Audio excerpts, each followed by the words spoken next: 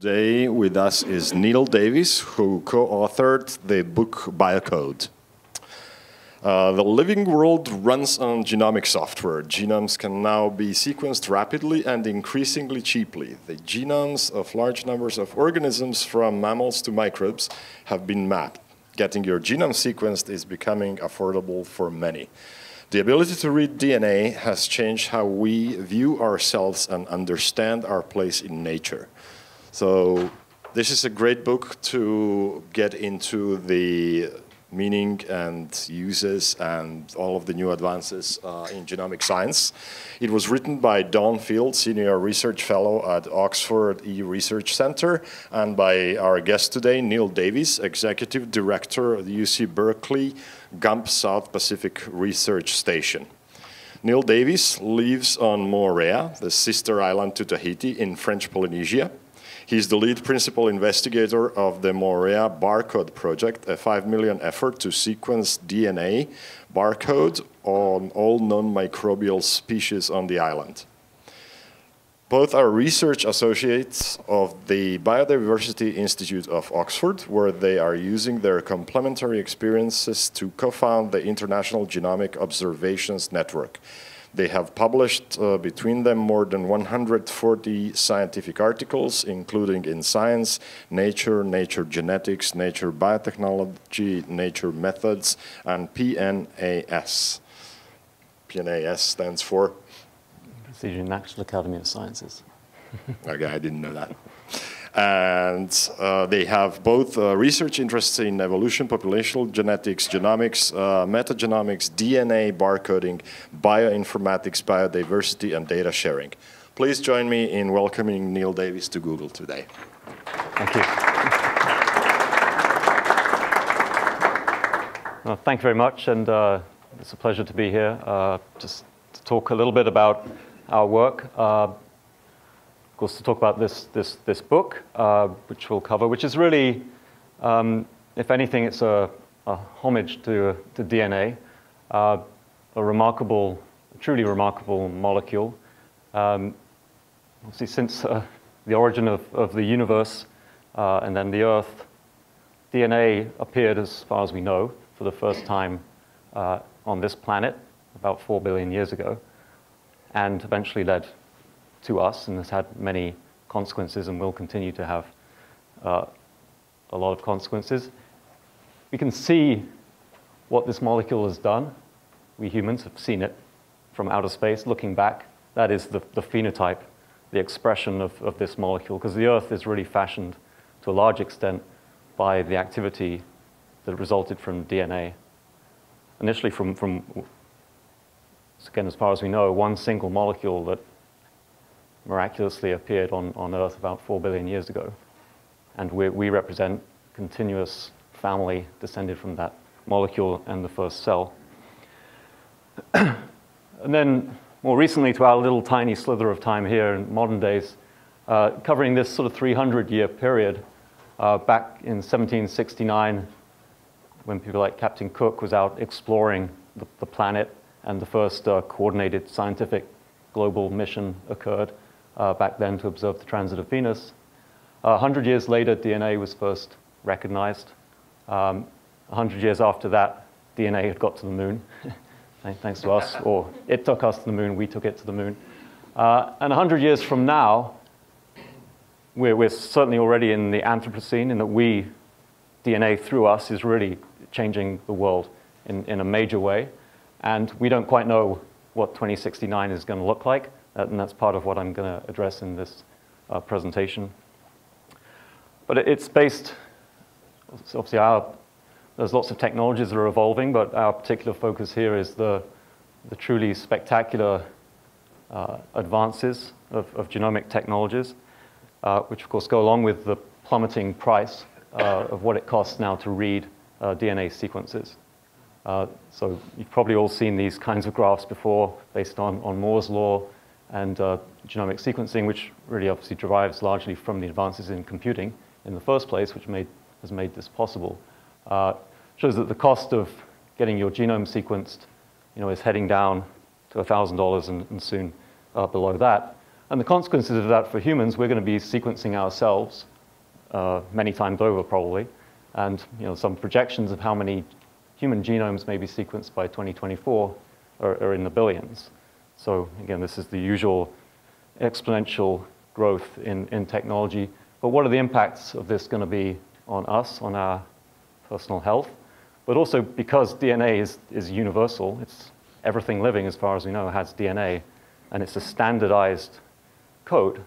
It's the same code. So whatever was developed to read our genomes works in everything else. So we're able to leverage the advances driven primarily by medicine, and we can read genomes now in every other species on Earth. And that's, that's really my personal interest is, of course, I'm interested in the health of humans too, but also what about all the other species, of which, of course, we humans depend upon. So our ability to read DNA has advanced massively, but including up to the point now where we can start to write that code as well. Uh, and this is in many ways an even bigger uh, shift. You know, we can understand, we can see what nature has done, but, but now we have this uh, sort of godlike uh, capacity where we can actually potentially create life, we can certainly modify it. Um, and that's the first time in four billion years that anyone else has been shaping uh, our, our biological future. So this is the first time we can potentially start a new tree of life synthetically, uh, which would be the first time in four billion years, and in the universe, as far as we know, the only, the only other time that that's been possible. So that, that should at least give us a little pause for thought about the consequences of that philosophically as well as uh, practically. so DNA is sort of everywhere now. You read about DNA all the time, uh, and, it, and, it, has all kinds of benefits and impacts of, of what we can do uh, with this, this newfound capacity. So here's just a, a, several articles showing some of the applications of DNA sequencing technologies, and they're obviously far beyond uh, medicine.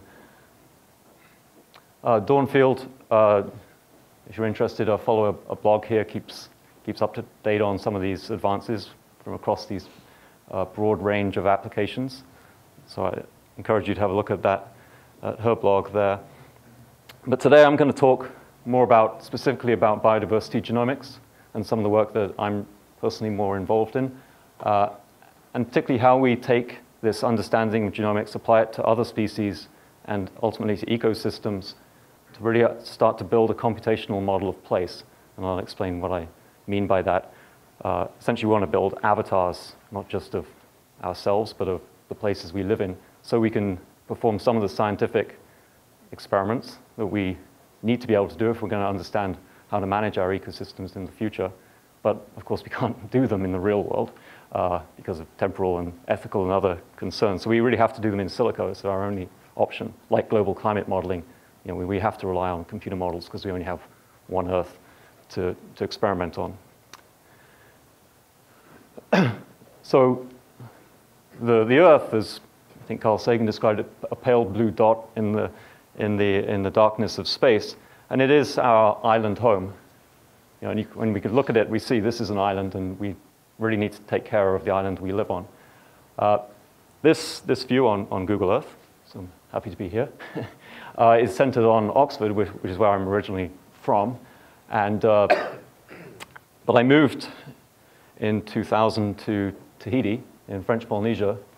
And again, and really this, I have to say, you know, Google does fantastic things, and Google Earth is, everyone says the maps and seeing things changes your perspective.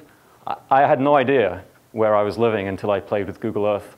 And I was just thinking, oh, it's going to be fun to see where we are. I knew I was in the middle of the Pacific Ocean, but I didn't, had no idea quite how big the Pacific Ocean was.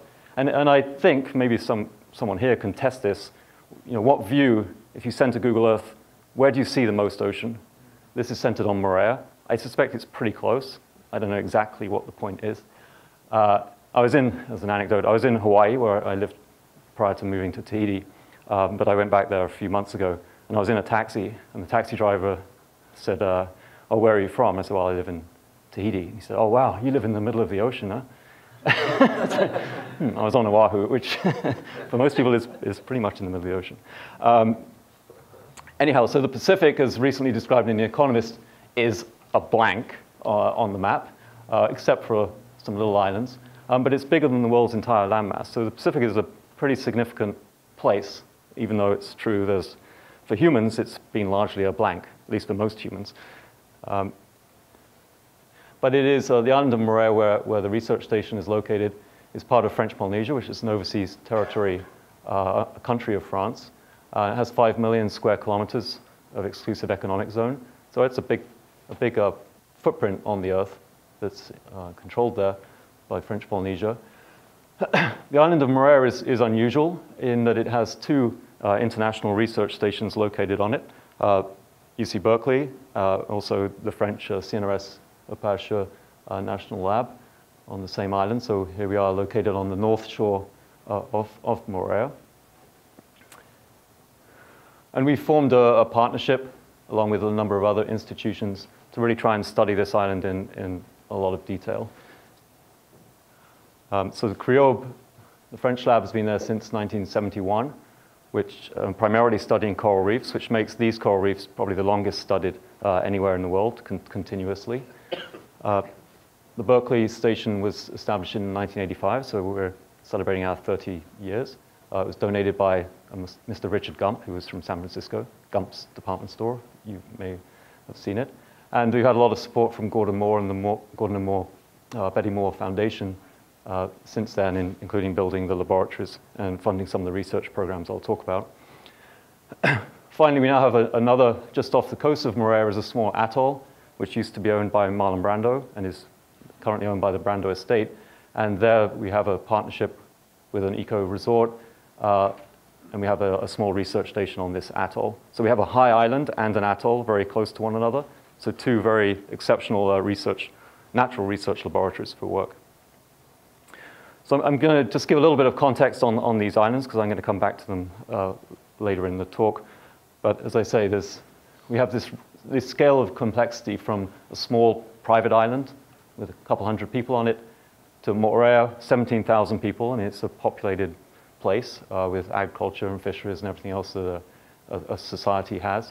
Uh, and then next door is Tahiti, which is almost 200,000 people and a, a, jump up in, in complexity. The other interesting thing uh, scientifically to know about these islands, and this, this, applies similarly to the Hawaiian Islands, they're on hotspot archipelagos. So you have the younger island down here in the south, and as the Pacific plate moves up to the northwest, the islands move off the hotspot. And so they get older. So Moorea is a little bit older than Tahiti. Tahiti is the youngest island, still close to the hotspot. Uh, Bora Bora, up there in the northwest, is a much older island. So we have this great uh, time machine, really, to move back and forth in time. Say, what would Tahiti look like in a few million years? Well, we can go up the island chain and see that. And Hawaii is, is a similar case. So it's truly remarkable for people studying evolutionary ecology you know, we don't have a time ship, and we're working on these kinds of timescales. Our processes take that long. So it's very hard for us to do any experimentation, but here provides a, a nice comparative uh, setup. You couldn't really ask for better. So that's Moorea today. You know, Moorea in three million years is going to look something like that, which is in fact Bora Bora, and in five million years it'll look something like this, an, an atoll. The other important part as a natural system for study is that we are at this end of a, a, natural biodiversity gradient. So the highest biodiversity in the world is out in Southeast Asia. This is marine and terrestrial. As you come across the South Pacific, there's a gradual attenuation in biodiversity. Uh, interesting, that also applies to human culture. You know, there's 900 or so languages in Papua New Guinea. Once you get out to eastern Polynesia, there's one clade, one family of people, the Polynesians, who've spread out to 50 different ethnographically described societies from Easter Island, New Zealand, up to Hawaii uh, and Tahiti in the middle. So it's one monophyletic group that, that's out here, so lo low cultural diversity compared to the, the West. And these systems have gone through the evolution that a lot of societies have around the world, uh, but the difference is here that epochs are very clearly demarcated. So the island arose in the middle of, of the ocean, there was no one there all the plants and animals had to colonize that island. So there was a, a pre-human period. And then these were the last places on Earth to be colonized by humans. Uh, Polynesians arriving about 1,500 years ago. So it's a relatively very recent. Of course, when Polynesians arrived, that was a huge impact. They came with plants and other animals and insects and completely led to a complete overhaul, uh, collapse of the system and then a reformulation of of, of a new ecological system. So it's an example of complex system cycles. And then that reached some kind of stability, at least over the, call it thousand years or so of Polynesians there until, and that this we know to the day, until the first European explorers arrived in, in Tahiti in, in uh, 1767. And that was also a, a massive upheaval of the system, mainly, at least for the human part, is due to introductions of new biodiversity, new genomes, uh, in the form of uh, infectious diseases, which led to a crash in the population. and then the fourth one is really when the, the, the, islands were connected to the modern world, and that started in around the 1960s with the first international airport, and, and, mainly that was initiated through nuclear testing that the French uh, were carrying out at that time.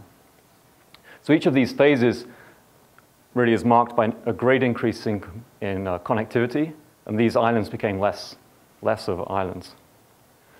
And of course, today, the big change is we're maybe in the fifth, fifth epoch, which is driven by the internet.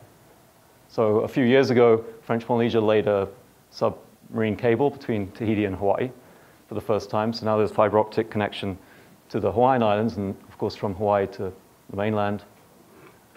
And so we have now these two archipelagos either side of the equator connected on a backbone uh, of fiber optic, which is having social consequences, but for us, scientifically, this is a great thing. So now we're connected to the rest of the world, and we can really study these systems and take full advantage of supercomputer capacities on mainland and, and instantaneous communications, high bandwidth.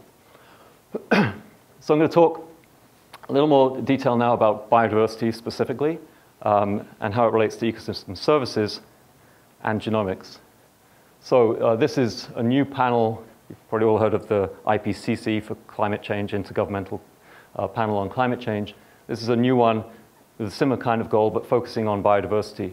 Because we, we're, we're facing a twin crisis. We have climate change caused by carbon emissions, greenhouse gases, but we also are losing biodiversity at a dramatic rate. Um, and that's I think not many people argue that that's due to humans. There's, uh, we, we all know that human activity obviously kills things, sometimes deliberately, uh, but through land use change and others, cl clearly we're reducing biodiversity ourselves.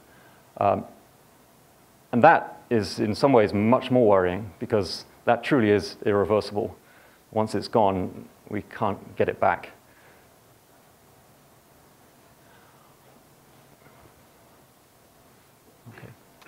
So um, at the research station in Moorea, we have conferences on different things too, and, and we, including astronomy.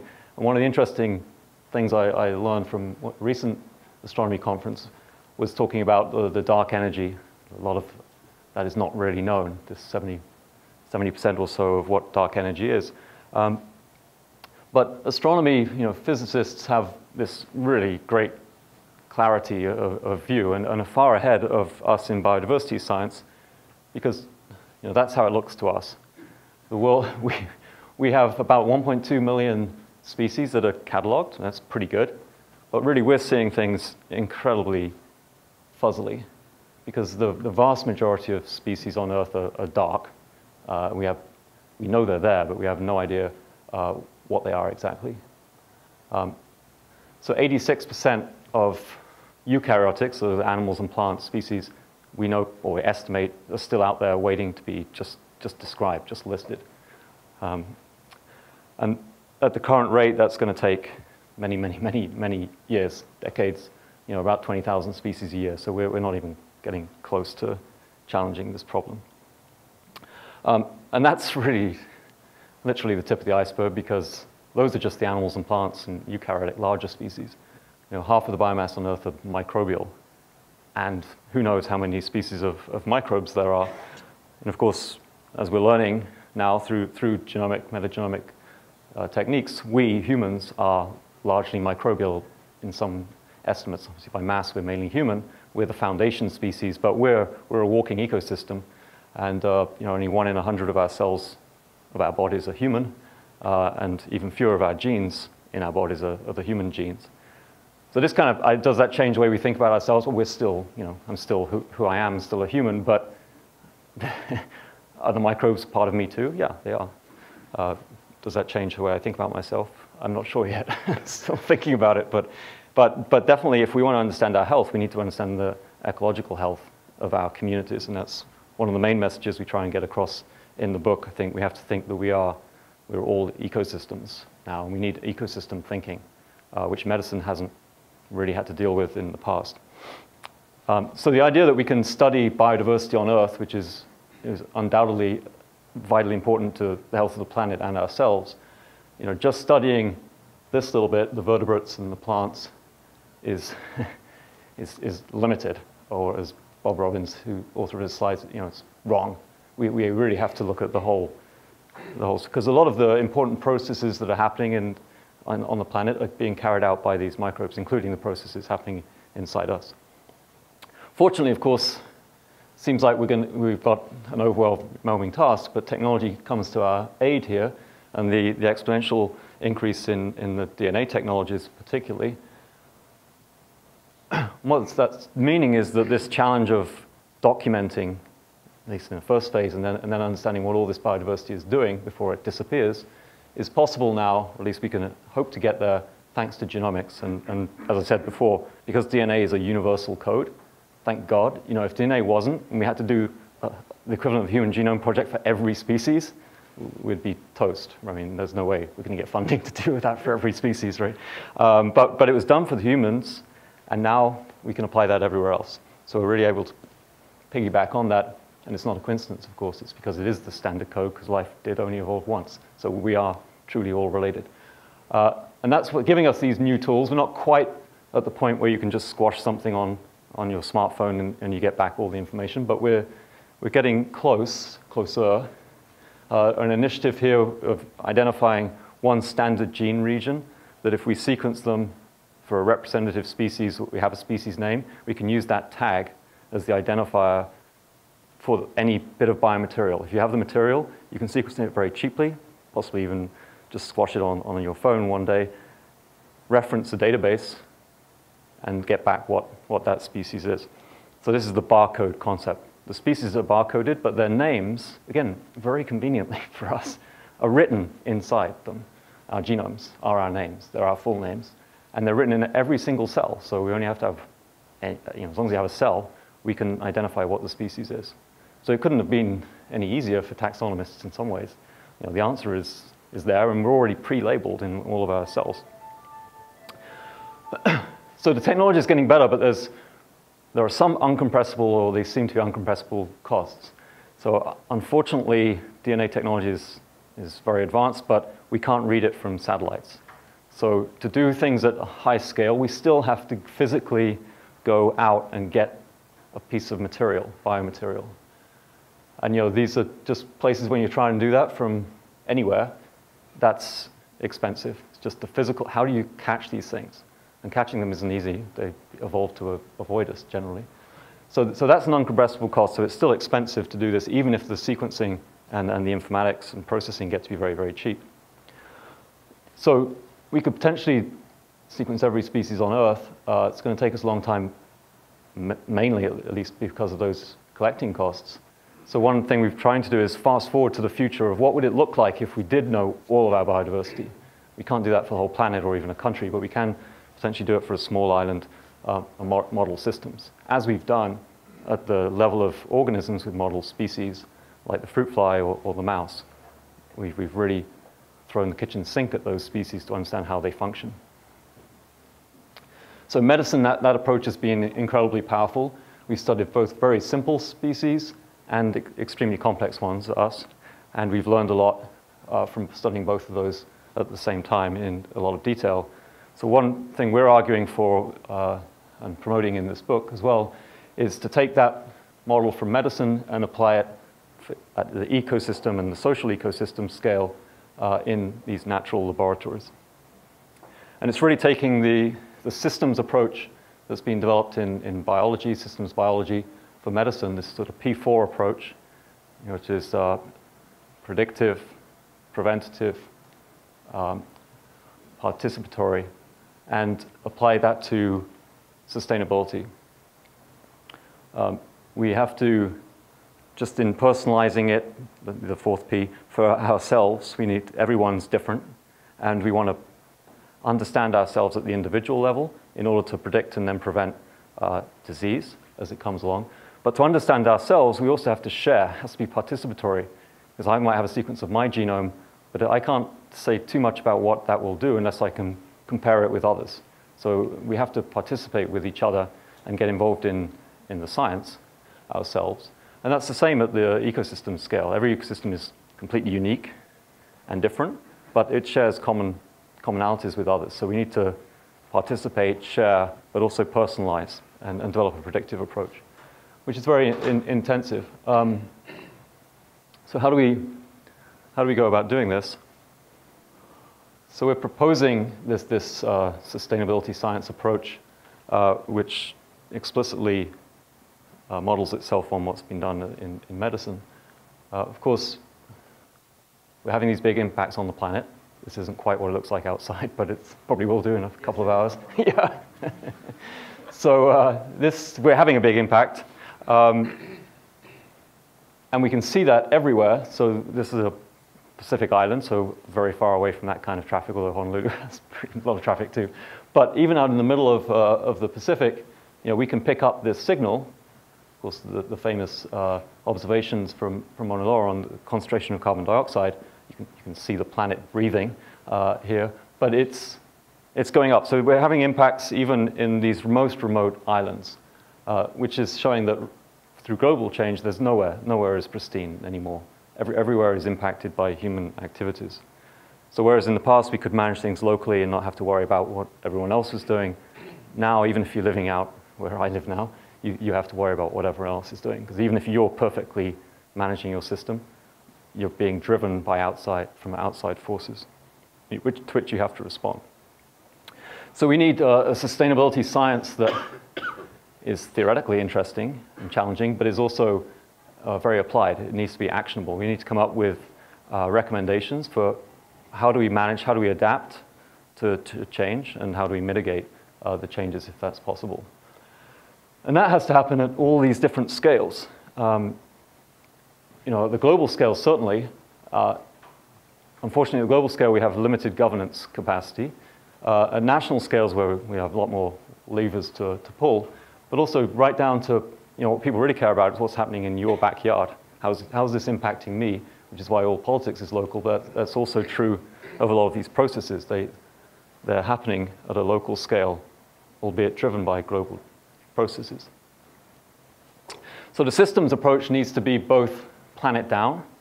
You know, for example, here we have to look at how's the ocean becoming more acidic. So that's happening worldwide. It's a worldwide phenomenon driven by worldwide processes. Um, but if we want to understand how the natural world and our societies are going to respond, we need to look at that more locally, indeed, even to the genome. So, for example, in corals, if we want to know what's going to happen to corals because of ocean acidification, we have to look at the calcification process. How does that work? What genes are involved? Do the corals have any uh, genetic variation that enables them to respond to different levels of acidification and continue to grow? Right, but that we have to understand at the genome scale and all the scales in between. So it's a, it is the, the massive challenge. We have to go from here, molecule, genome particularly, up all the way to the planet um, and understand how these things all, all, interact. I mentioned the astronomers, so uh, these, this is pretty big, but probably don't need to do too much astronomy necessarily, although the planets certainly are, interest, are impacting us as well. Uh, and do we need to go to subatomic particles? I, I, don't know, probably not. But still, that leaves us with a, a vast swathe uh, to study. so at the global scale, there, there are initiatives, this is the, the global, uh, Group on Earth observations, trying to coordinate how we observe the planet, including biodiversity, uh, uh, weather patterns, climate, physical processes. And at the genomic level, we've launched a Genomic Observatories Network, uh, which is uh, partly under GEO, uh, and applying standards for how we do this so we can actually compare the data we're, that we're observing in the field. Because even though we can get sequences, and there are lots and lots of sequences now in GenBank, what's crucial to take advantage of those sequences is the context, the information about where those sequences came from. So you know, and a lot of them initially didn't even have the time and place. And there's very little we can do with, it, uh, with those, those types of sequence without those data. And then there's all kinds of other contextual data that we need to have if we're going to make those sequences useful. So because there is a cost to collecting the sequences, and there's a cost to treat, analyzing them, and all of the contextual data, there's much more value if they, if they have a rich context. We want to study these, uh, uh, do focus this uh, sequencing effort in places that are very well studied across all levels. Right? And, it has to be focused because it's expensive to do this at, at, at high density. So th this is an example from our site, but this is part of a network. Uh, the National Science Foundation of the United States funds long-term ecological research sites, which are you know, 25 sites funded by the NSF, which are a focused effort on those places over decades. So places like that is where we can focus these, uh, our genomic observations, where we know then they'll be embedded in this very, very rich context. And our challenge, let's flick through those, our challenge is how to integrate across all of these different data sets to address specific processes. So I mentioned there are a number of these sites around the world, and we've formed this network trying to work together. The genomic technologies are evolving so fast, you have to, there's a lot of this participatory part, sharing what works, what doesn't work. Because um, we're building a genomic observatory, layering it into studies that give it the historical context. How do we get to this point today? So we need the archaeological, paleoecological work. Um, the environmental observatory, what's the environmental context of those sequences, ecological, the, the classical part of counting birds and fish and butterflies, but also social. What, what are humans doing in that system? As I said before, we can't ignore humans anymore in natural systems. We're, we're key drivers of those systems. so we have to layer these, these genomic observations at this various level. And these observatories could be at the scale of single you know, sometimes there are a buoy that's intensively monitored, just a point, which is obviously a very open system, an ecosystem, not really maybe. People, you know, we're, we're monitoring our microbiome. So in a sense, some of us, some of the best studied people are becoming genomic observatories looking at how their microbiome and how their genome changes uh, during their lifetime. So that's a form of genomic observatory. There's work going on in buildings, like a hospital, studying from scratch as the hospital's built, how is it colonized by different microbes over time. How does that affect the patients? Uh, forests are being studied, whole river basins, uh, up to you know, complete land masses, small ones, uh, larger ones, um, and then ultimately the planet. So one of the first uh, actions of this, you know, these are both making genomic observations at a very local scale to address local questions, but also globally we can start to coordinate those and, and fashion uh, a global observatory. And we did this uh, under a project called Ocean Sampling Day, which was an attempt to, can we task the world to make a coordinated genomic observation using the same protocols at the same time on the same day? you know, like you would if you had a, a telescope or something, you really want, oh, we want to run this experiment, can we do this? So the, we did it uh, last year, 180 sites around the world, went out, and did exactly the same thing on the same time. You know, and it was from Antarctica to the tropics in all these kind of different sort of conditions. And it was done remarkably cheaply, you know, on a shoestring, basically, because we could leverage all of these places that have boats, that have people, that have labs, that are already out there. They just need coordination, and we can go and start doing the same thing. Just, I say, because it's, it's a lot of work, but it's, the infrastructure exists. If we want to tool it up for something, we, we can use it. So the question is, what would be what we do with this capacity that we have. I mean, it's just an emerging capacity, uh, which we're realizing for the first time we, we have the ability to apply. so now I'll switch a little bit to how we use genomics at, at these uh, places and following our roadmap here from systems biology. If we want to understand a, a system from the genome up, you know, one of the first things you need to do is what's in the system, what are the parts. As I mentioned before, for biodiversity, that's a real challenge because we don't, we have no idea. It's like you're trying to study the car engine and you only got, you know, a bit of the front headlight and, and the rear view mirror, and you're trying to figure out how this car operates.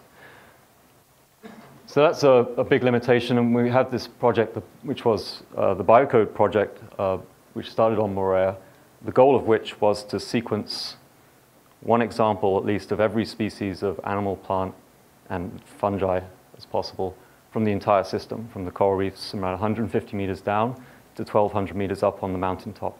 This was funded by the Gordon and Betty Moore Foundation and involved many, many scientists from a lot of institutions around the world, led, led by the ones uh, listed here. Then, collecting di diversity, biodiversity is messy. it's, there's a reason why it's called biodiversity. It's diverse. It's uh, all kinds of variation. So out there, it's very variable. And the collection methods, you need specialists who, who know how to go and catch these critters. Uh, you know, they can be involved going up at night to the mountain tops or, or deep down on the, you know, diving down to 150 meters on the outside, outer slope of the reefs. So that's, that's the, the cost part. Uh, it's very, and then you collect all of these organisms, they come back to the lab and they look something like this. you know, this explosion of tubes and taking digital photographs of everything, trying to link the photographs to make sure it all stays linked to the, the specimen in the tube, um, which will eventually lead to a, a, DNA sequence. Of course, the, the sequencing was being done mainly at the Smithsonian in Washington, so those sequences get appended later to these data, all the while retaining all of the contextual information about where that sample came from in the, in the natural world. Uh, so it's a complete explosion of data uh, carried out by different people coming from different times, from different institutions, from different countries. Uh, it, most of the workflow, though, starts with this single collecting event. It has to be isolated from nature. And everything really hangs off that. But even before that, you need to get a permit. Genetic resources these days are valuable and they're reg increasingly regulated. So that's, that's a, a part that can't be forgotten. But then it generates from that one event, there's this cascade as you get many specimens, those are photographed, they get subsampled into different tubes, sent off to different labs, and sequenced. And then you try and, you know, then they get, all those data get stored in different places around the world. And some of those are physical specimens, so, and many of them are, are digital data items. So how do we keep track of all these and keep them all linked together in that they're all going to different places? So I'm not, I'm not going to go into that, because but that's an informatics challenge that is at once seems quite simple, and it is, the technologies all exist. It's more of a sociological challenge because it's very, very hard to enforce this. So we can actually reconstitute the data, in this case about this island. It's very, it's a, it's a massive challenge. And it, it really involves applying unique identifiers to all of these objects, which again, sounds simple, but in reality, it's very hard to make happen. Having done that, if you've got all the, your list of parts, you know, that's just the first step. How are they interacting with each other? That's really what's interesting. That's, that's kind of the exciting part uh, for us as ecologists, at least. Um, and that's pivoting now, as, as Chris Meyer, who directed this project, the Smithsonian calls it. Uh, we're going from an inventory, and which is going out finding things and grinding them up and sequencing them, to an approach which is more observatory over time. We've got the reference database. Now, we actually go into reverse. We grind them up, and then we sequence them, blast them against our reference database, and see what we got. This we can do at high volume. So we're trying to yank this science into a science that's high throughput, which is really what, what revolutionized uh, biology, cellular molecular biology, is the ability to get to high throughput data generation. Ecology is still painfully slow. It's hard. But we're getting to the point with these new technologies where we can, we have a reference database now, we have these DNA tags they're like the license plates on your car. Right? So now, now what we need to decide is, well, where do we put the toll booths to read these license plates? And that's an ecological question. How do we understand who's where in the system? Who are they, who are they with? Uh, and potentially who are they eating so we can get at things like the food webs, because we can look in the guts, we can look at plankton trawls, because we can just grind things up and blast it, sequence and blast it. And that, that part's pretty easy. So it can be done at high throughput. And looking at these interactions, so for example, now we can get these, these DNA tags, we can look at gut contents, gives us a whole new view. So that some of this work Chris Meyer did with, with um, other partners shown here. Just as a test, we had this one cubic foot, which uh, National Geographic photographer Dave, David Liittschwager photographed, which actually I think some of this, we, we, there was a display here a couple of years back. But um, can we build a food web of all of these individuals that he found in this one cubic foot on, on the coral reef of Moorea? And so they did that. You know, so this is what, what we think all of those different individuals, how they might relate to each other. You can collapse that down and say, well, some species eat the same thing, so we'll just collapse that into one node, makes it easier to, to, um, to study for one thing, but you know, we think they're doing the same thing. Here are two, two species of fish that were collapsed into one of those nodes. And then we can start to test that. So we take these guts from these fish, uh, or rather this team did, look at what's in those guts. You know, obviously they're hard to identify visually, so the genetics is really the only way to get at it. But what we see here is that these two fish actually eat completely different things, or at least those individuals have. So we were wrong, just because they look like the same fish hanging out in the same place, probably eat the same thing. They seem to be much more specialized than we thought. And we can do the same thing at the scale, you know, for birds and other organisms. So we start to build up the interactome, all the interactions of this system, uh, in, with evidence, uh, or at least relatively direct evidence if it's found in the gut of something. and this is sort of part of a broader revolution, I would say, in, in the way we're looking at ecosystems. And, and this is work largely drawing on Tom Whitham's group, uh, who work on cottonwoods out in uh, Arizona. And what they've found is that the genotype of a foundation species like a tree, the variation within the species among individuals, the genetic variation, turns out to be incredibly important for ecosystem scale uh, functions. So treating two species as if they're doing the same thing in an ecosystem learning is probably a dangerous thing to do, but even saying that species is all the same is also dangerous. So when he, Tom and colleagues looked at these trees, they found, for example, that differences in elevation of 100 meters or so can have different genotypes of tree, which when you put them in a common garden, which is what you know, forestry agronomists have been doing for, for decades, but not really focusing on natural systems, when they put them in natural, uh, common gardens, whoa, the ones that are 100 meters higher don't do so well. And that has all kinds of knock-on effects also. This tree, they've, Whitham's group found that the tree also has a characteristic set of insects and bacteria and fungi and even birds that start to, that are linked to the genotype of the tree. So trees of the same species with different genotypes have different communities. So it's on an extended phenotype of the, of the tree, a, a community level uh, genomics. so understanding the genomic variation within species can be crucially important, particularly if they're foundation species, like trees, on which a lot of other things depend. And those kinds of, the, the trees are, have different variability at elevations. That's reflecting environmental adaptation. So uh, what they've shown too is that if you replant trees in restoration projects, but you're planting the wrong genotype, and often we try and plant what's local, because you know, we're scared of invasive species and we, we plant the local type of tree here locally because that's, that's good. Uh, that could be very bad. it could be good in, in stable world, but in a world of rapid environmental change, you spend millions and millions of dollars replanting your forest. 20 years time, those trees won't survive there anymore because they're the wrong genotype. You should have gone further south, picked up ones you know, 1,000 kilometers further south. Those, that genotype will respond to the future climate in, in your locality. But for that, we need to have a sophisticated understanding of genomic variation, climate, and what's happening on the future climate. And some of these, and corals, it's likely to be the same. We're, finding, we're beginning, you know, the trees, the first genome uh, sequence for a tree was, was the cottonwood. That's why partly how Whitham's group were able to advance so rapidly. Also, it, on land, this is you know, traditionally done, uh, common garden approaches. Corals are, are the foundation species of coral reefs, and we're finding that variation among corals has similar is likely to have similar kinds of consequences. So if we're going to really be able to preserve variation, we might have to think of things like assisted migration. You know, these species are not going to survive on their own if there's not enough genomic variation where they are unless we introduce types that are able to, to survive. So I'm going to finish, uh, finish up here with a consideration of when we get finally down to this end, where we've got a lot of this other information, and now we're, we're able to start quantifying interactions and, and modeling them, and we really understand processes. So for the last 10 minutes or so, I'll, I'll, I'll talk a little bit about that.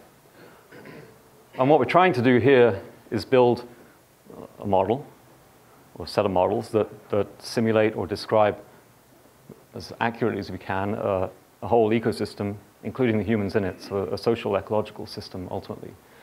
Um, so these com uh, computational models of complex entities exist. Uh, so we have them already for some, some things, the, the, the, obvious one being the cell. So the cell is the foundation of biology. Uh, and we understand an awful lot about the cell now, up to the point where we have an, an avatar of bacterial cells.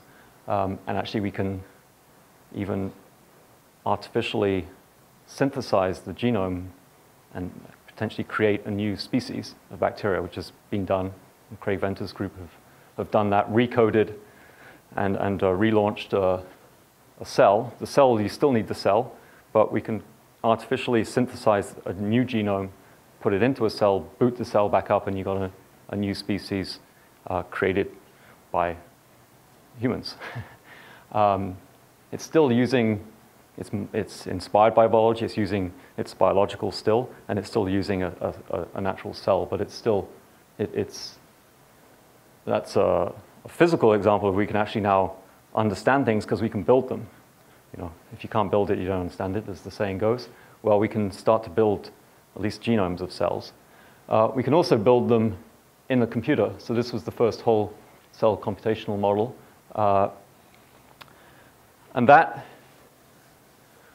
you know, that's set, what does that set up? I mean, in cells, of course, you have lots of cells in a laboratory. You can do lots of things with cells.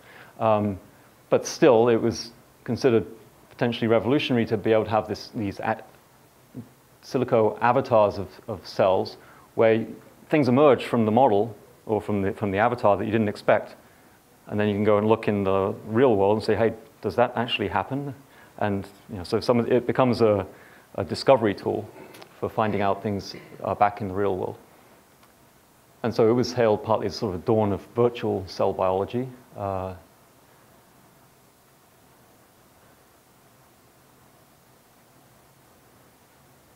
whether it'll actually supplant the need for wet lab uh, is probably it's doubtful, but, but it certainly uh, is enhancing it. So virtual cells, computational models of cells exist and they're getting more and more sophisticated and now that's including up to multi, small multicellular organisms. Um, so this is back in 2008 saying we need to move from the cell level up to uh, interactions um, and how communities function. And so in this paper they were talking about how, how organisms interact and move up to understanding ecosystems through these sort of network analysis approaches. But you know, look at what they were calling an ecosystem. It was uh, something around your tooth. it's uh, not necessarily the ecosystem we're talking about at, a, at our scale. But what it shows is we're really, we, we are all ecosystems, uh, whether it's our body, let's say buildings up to, up to the planet. Um, and specifically the case of landscape scale social ecological systems, we need to be able to deliver predictions, forecasts that policy can respond to if, if we're going to hope to maintain the health of our societies and our planet, just as we do at the scale of our bodies through medicine. So predicting the future, you know, this was in 1769 when Captain Cook came out and people went all the way around the world to look at transit of Venus. And we won't go into details that, but it was coordinated. It had to be done because the transit of Venus doesn't happen very often, every century or so. And you had to be there to observe it from different parts of the world uh, in order to estimate the distance between the Earth and the Sun. That was what it was being done for. but they knew back then exactly when the next transit would be in, in 1769, so it was arranged you know, to go out there and observe it right at that time. So the prediction, even then, in physics, astronomy, was, was, very, was very accurate. And the last transit of Venus was two years ago, I think. I've got it right. Yeah, two years ago. And we went out to the same spot in Tahiti and stood there and you know, stood on the beach and waited for the transit of Venus along with thousands of other people who were there in this big you know, um, ceremony. And the last person to do that was Cook. uh, so it's pretty remarkable. But also sitting there thinking, well, what if this doesn't happen? This would really shake up physics I kind of better. I hope this happens. Uh, it would be embarrassing if it didn't. Uh, but it, of course it, it did, so physics is safe for a while. But um, uh, interestingly, Captain, uh, anecdote because I like this, but Captain Cook sent out uh, jo Sir Joseph Banks, who was a future, this, this, expedition was funded by the Royal Society from London, so it was, uh, it was a scientific expedition, and he set up his observatory on Tahiti, sent Banks, who was a botanist, over to Moorea to observe it from Moorea just in case it was cloudy on Tahiti. So the first, and, and Banks was the first European to set foot on, on Moorea. So the kind of nice for me is that the first European who arrived on Moorea was there as a scientific mission to set up an observatory. And of course, we're still doing that. And here's uh, Frank Murphy, our associate director at the station. We're standing right on the spot where we think uh, Banks, this is on Moorea.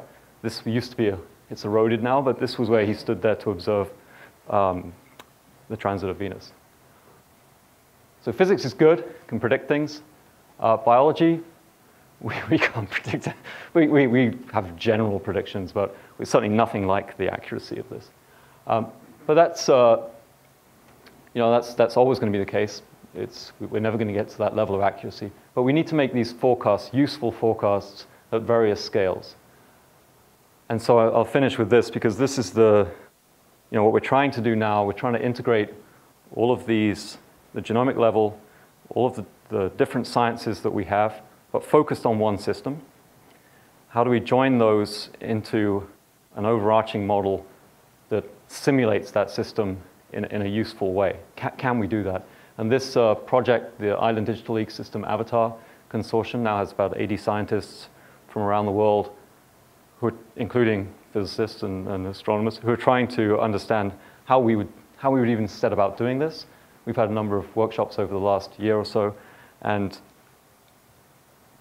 really this is you know, relating to the, the book stream of using genomic information from cells up to the planet. How do we do that to ultimately to model the Earth? That's overwhelmingly complex. But you know, we're trying through these genomic observatory sites, and, and Moorea uh, in particular, to at least get a handle on these, we only have to go, we still have to start at the molecule, but we only have to go to the island, which is a lot less than the planet. So we think, uh, hopefully that's a little more tractable. But once we can do that, we have to, we have to challenge, solve all the same problems that we'd have to solve everywhere else in the world, in, and including at the global scale. So it's uh, a focus, yes, but it still has uh, global uh, ramifications. So I think I'll stop there. Thank you very much.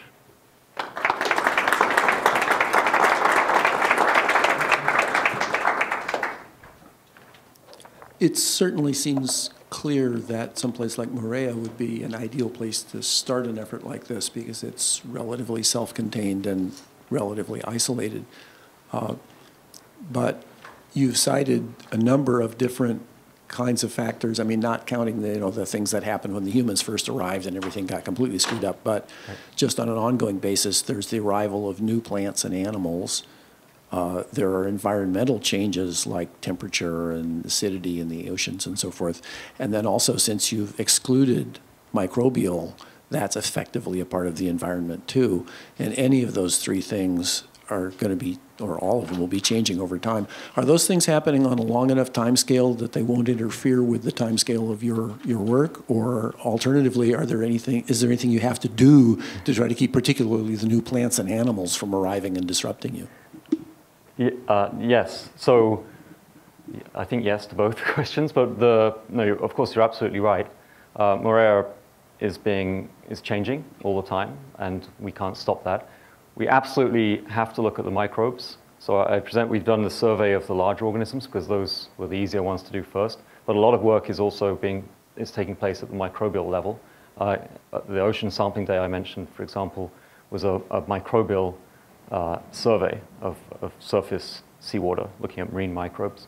So there's, we need to expand that biocode project, the Moorea biocode project, to include the microbial parts of the system.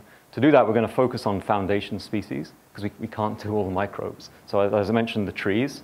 So how, how are trees, what's the genomic variation in trees? Because the biocode project was a species level inventory. So we have to also look at population level variation among all of the different individuals on the island. So, so the, the inventory part is, is far from complete. You know, we've got a better handle than we have elsewhere, but we've got much, much more to do. And the next phases will be looking at key foundation species, genomic variation within those species, and their microbial associates and, and the interaction between those. we can't stop, we, we, have to, we have the scale of the island, which we're trying to understand and model what's happening in, inside the island, but we have to take all of the external inputs, which at least we can measure, you know, because an island, we know what's outside and what's inside our system, are the drivers from outside. We're there taking regional and global models and downscaling those and linking them to our local models. So we're not ignoring what's happening at the larger scale and, and different time scales, but having to integrate that with what's happening on the lo- at the local scale. So it's, I, I, didn't mean to imply that we're only doing the larger species and ignoring the microbes, and the, and the global changes we absolutely have to take into account. But the predictive models are basically, can we predict what this island will look like in a few decades under environment, likely scenarios of environmental change? That's one of the simulations we want to run. And under likely scenarios of policy change. And of course, the interaction between, between those two. So we're not trying to simulate every possible scenario. We're trying to simulate a, a small number of scenarios that are are relevant and hopefully useful. Uh, quick question here. So, what kind of collaborations are you looking to uh, establish? I, I, heard that you're working with the Smithsonian, uh, Oxford University. Is there any uh, other field that you would like people contact you? And you know, like, what's the best way to get in touch? And what is the thing that you know, like your institution can provide for these other institutions that may have, you know, like a fruitful collaboration in the future. Yeah, so, so absolutely. So the, the consortium, the IDEA consortium, is completely open. to, it, it, the idea is to make this system available to study remotely. Right? We're trying to digitize the whole system, put it into supercomputers so it can be studied from remotely, but also connecting back to what observations need to happen on the real world, because it's not a computer game. So we, we need to model what we think and generate these visualizations, simulations, and then validate those in our real world system. So it'll involve some work on the ground and people, teams on the ground doing this, uh, deployment of new sensors, satellite imagery, embedded network sensing. Obviously, the genomics has to be done, uh, at least the collections have to be done locally. And then the number of institutions involved, we have 20 institutions, sort of uh, nodes in the Avatar consortium at the moment. Uh, ETH Zurich was, was one of the founders, as you mentioned, Oxford, uh, the uh, French uh, CNRS lab. So it's, it's completely open to anyone who wants to, who wants to join, thinks they have something to contribute. And uh, it, it, it's also, part of this is addressing the sociological problem I mentioned earlier of data sharing, because the, the avatar is going to be open. Right? The idea is that everyone puts their data in there, not just the data, but the models, and everything else will go into this infrastructure. So all of the experiments should be re reproducible, so anyone else in the world can try them. You can actually you know, run new experiments if you can do those experiments virtually. Uh, and also, the, the, avatar will help task us, hey, we're trying to, we're trying to model this, and, but we don't have data on this aspect of your system. Can someone, you know, someone else, we really need that. If somebody else could go out and you know, look at the physiology of this species of coral or whatever it might be. So it also helps identify opportunities. And we, we, we provide support physically because we have the labs in the field. Um, but really, this is a call for collaboration with anyone who's interested. Please thank Neil Davies. Thanks so much.